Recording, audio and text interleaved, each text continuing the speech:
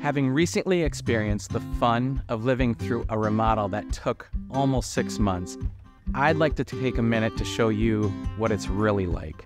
No, really. Remodeling can feel a lot like a roller coaster ride. It's exciting in the beginning, or what we call the design phase.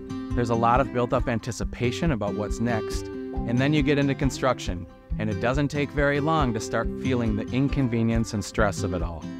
As you can see in our little diagram here, just like in real life, it gets messy and can be quite a ride. You know, we did the renovation, the kids were in school, and we were eating off a hot plate in a microwave. It, it was difficult. You lost half your house, boxes everywhere, dust everywhere, but I really think the ends justify the means.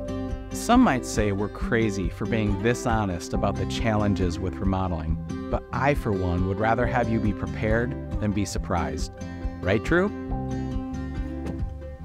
That's right, Ben. There will be some surprises, no matter what we do or how carefully we plan. Count on it.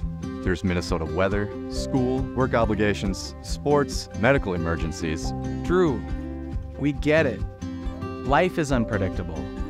The good news is we have a 40 year old proven process and dedicated project managers directing everything, checking in regularly, and solving problems before they become major issues. You can also count on seeing all your progress on your own dedicated website 24 7. All the plans, payments, to dos, the schedule are there.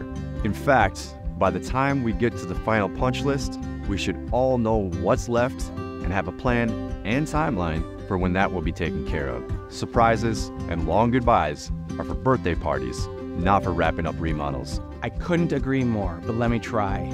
Yes, absolutely. And that's what we call around here getting it done with great care.